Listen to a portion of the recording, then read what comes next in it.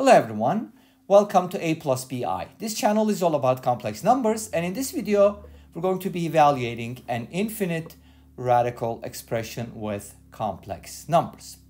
So we have the square root of 1 plus i times the square root of 1 plus i times the square root of 1 plus, you get the idea? And we're going to try to evaluate this expression. One of the questions we need to ask or raise is does this expression converge? In other words, is there a finite answer for something like this? And that's a really good question, right? So something to think about. And are there ways to do it? Good questions. So to be able to evaluate an expression like this, we're going to take advantage of the fact that this expression contains itself. What is that supposed to mean? This is what I'm talking about.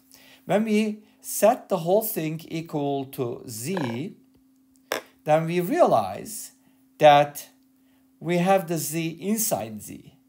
Notice the outside. Square root of 1 plus i times the square root of 1. So if you start here and take a look at this piece, which obviously contains infinitely many terms, you're going to realize that it's the same thing as the original. You know what I'm talking about? Look at that square root of 1 plus i times the square root of 1 plus i times the square you see same thing over and over. Oh obviously this expression contains itself infinitely many times but you can just use one of those. You don't have to go infinitely many times or even more than once. So what does this turn into? This turns into the square root of 1 plus i z is equal to z. So we kind of need to find a complex number that satisfies this equation. Wait a minute what is a complex number?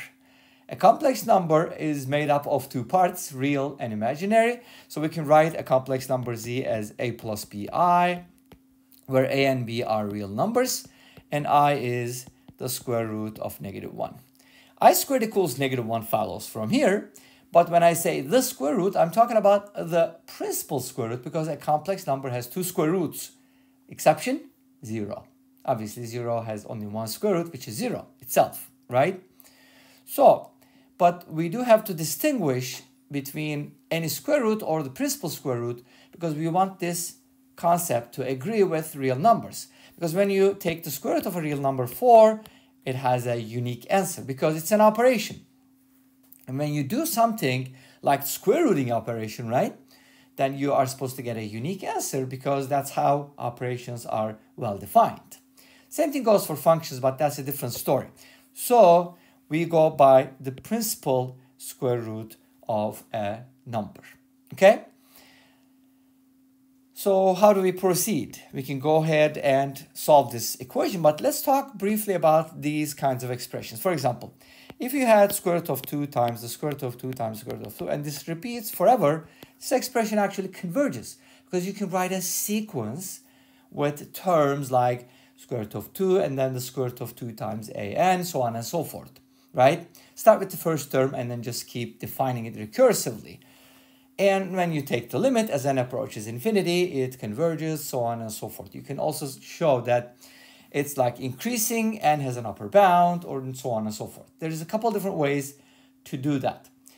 But this is fairly easy and this actually converges to 2 well what happens if it's this one well, it's kind of interesting, but this also converges to 2.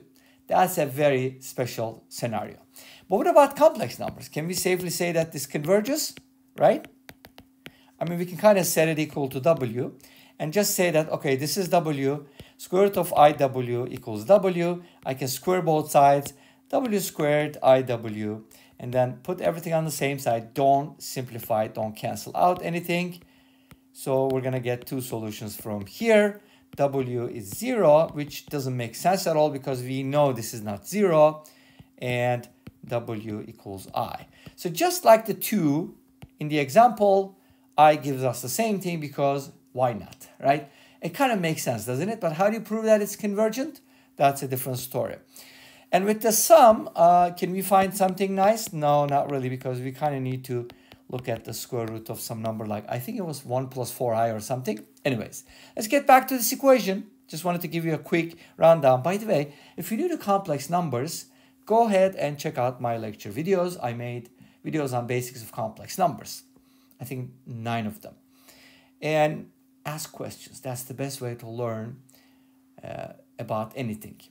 And if you like algebra, number theory, and trigonometry, and maybe a little bit of geometry, go ahead and check out my other channel, SyberMath with an Syber with an S. Okay? Cool, cool. Now let's get back to the problem after this little commercial break. This is what we have. That gave us this. Let's take it from there. Square root of 1 plus iz is equal to z. I mean, I could put z on the left-hand side, but no big deal. This is what happens. Now, let me tell you, what would happen if you didn't stop at that point and you continued and, you know, just look at it a little different. Okay, if this whole thing is z, then can't I also say that this is the same as z?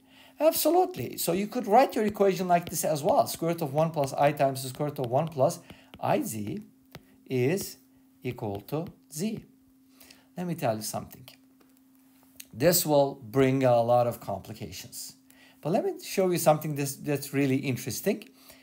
If you look at this, we know that the square root of 1 plus iz is z, so this is the same as z. Guess what? That brings you back to square one. So this implies itself, sort of like a circular uh, implication. I don't know what it's called. Something like that, logically. So let's get back to this and we'll take it from here. So we're going to keep it simple and try to solve this equation.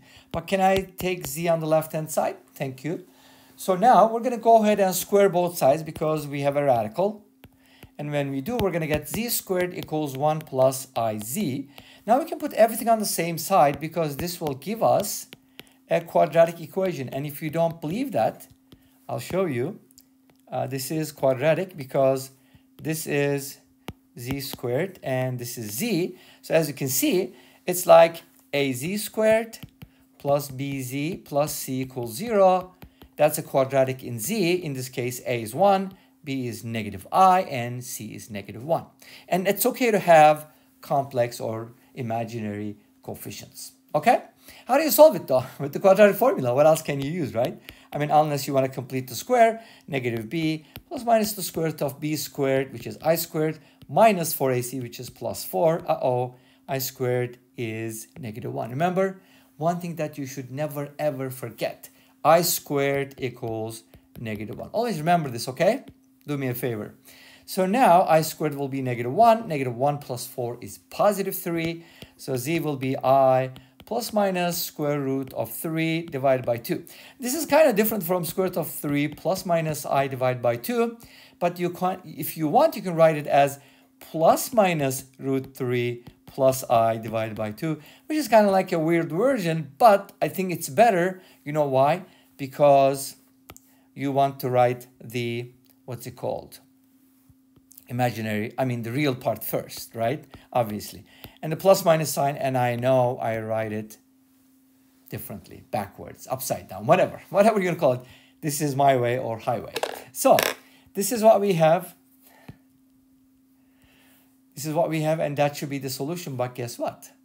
Can we have two different solutions for this? Because this is not like solving an equation. Well, it turns out to be, but we have a single expression. So Here's another million dollar question for you to explore. Can this be two different things at the same time, right? And if I had to choose, which one would I choose? Obviously, I would go with the positive solution and say that, okay, I think this converges to root 3 plus i divided by 2. And guess what?